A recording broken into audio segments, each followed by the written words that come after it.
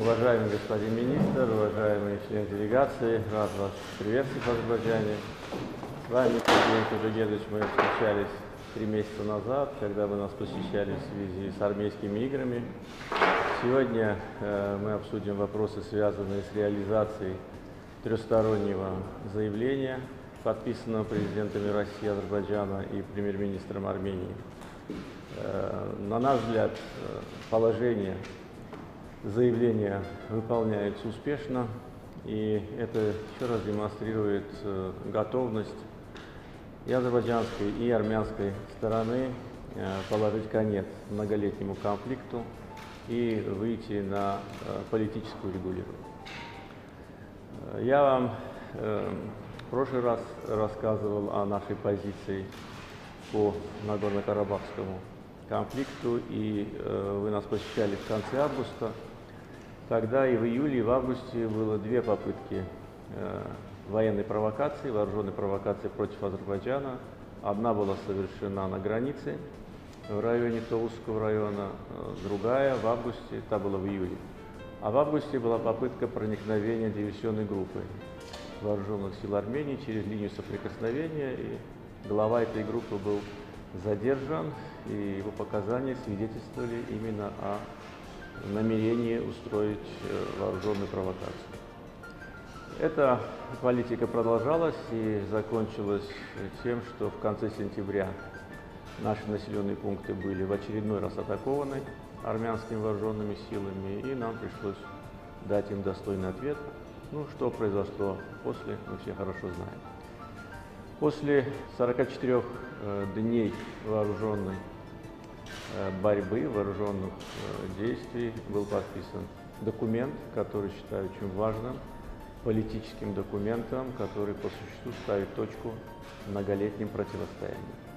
И хотел бы выразить благодарность вам, также руководству России, президенту Владимиру Владимировичу Путину за активное личное участие в подготовке и принятии этого важного политического документа. Э, к сожалению, за период военных действий армянской стороной были грубо нарушены все нормы э, ведения войны, а также гуманитарные нормы. Наши города и села подвергались ежедневной бомбардировке. В результате 94 мирных э, жителей Азербайджана погибли, среди них дети, женщины, более 400 получили ранения, и более 3000 домов пришли в негодность, либо полностью были уничтожены. Практически ежедневно обстрелам, минометным и артиллерийским обстрелам подвергались э, города, расположенные вблизи к зоне военных действий, э, но также и были атаки баллистическими ракетами города Гианджи, Мингичиура, э, Барды и других городов, целенаправленные атаки, нацеленные на э, уничтожение мирного населения. Все эти военные преступления нами задокументированы и использованы баллистических ракет, и кассетных боеприпасов, и фосфорных боеприпасов, и соответствующие поручения даны в связи с дальнейшими правовыми действиями, э, которые будут предприняты азербайджанской стороной. Армения активно использовала иностранных наемников, у нас есть многочисленные фото-видео документы, у нас есть паспорта иностранных граждан, в частности граждан Франции, США, Ливана, Канады и других стран, э, Грузии. Э, часть этих граждан имеют армянское происхождение, часть нет, но это не меняет сути вопроса, поскольку участие со стороны Армении иностранных наемников, конечно же, является недопустимым. Несмотря на все это, результат военных действий всем известен. Азербайджанская армия добилась блестящей военной победы, и э, мы таким образом перешли в, в плоскость политического регулирования. Вчера азербайджанская армия вошла в город Агдам, в оставшуюся часть оккупированного Агдамского района, тем самым выполняются пункты заявления.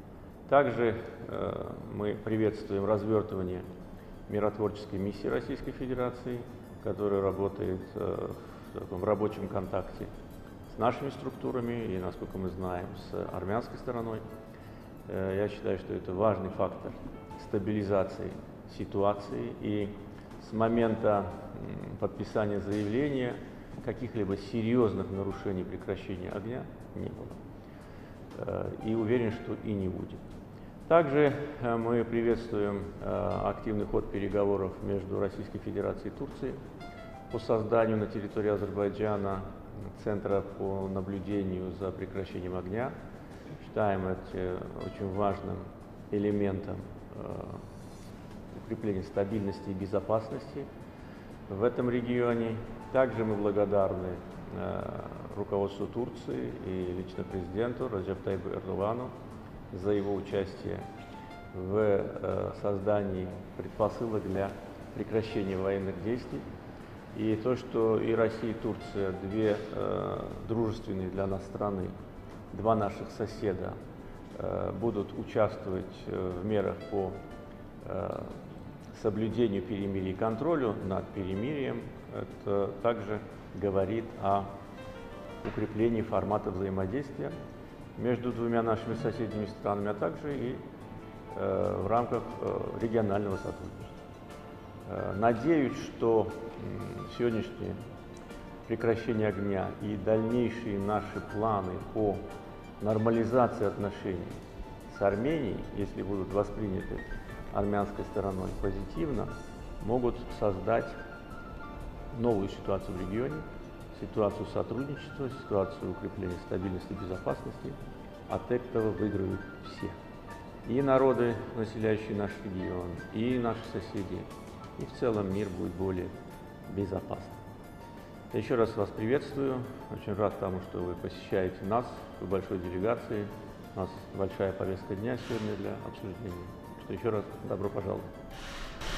Спасибо. Спасибо, уважаемый президент.